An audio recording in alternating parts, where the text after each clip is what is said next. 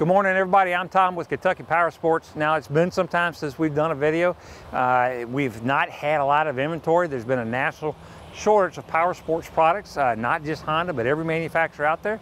But we're starting to get some stuff to trickle back in. Right behind me, if you've been looking for a Pioneer 1000 three-seater, I've got two limited editions.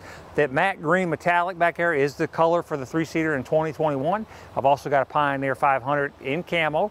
The big one that just came off the truck literally this morning is the uh, 2021 Talon two-seater X live valve. Now this white is the new color for 2021. I've only got one of these in stock. So if you've been thinking about any of these units, come on down to Kentucky Power Sports, ask for myself, ask for Cole.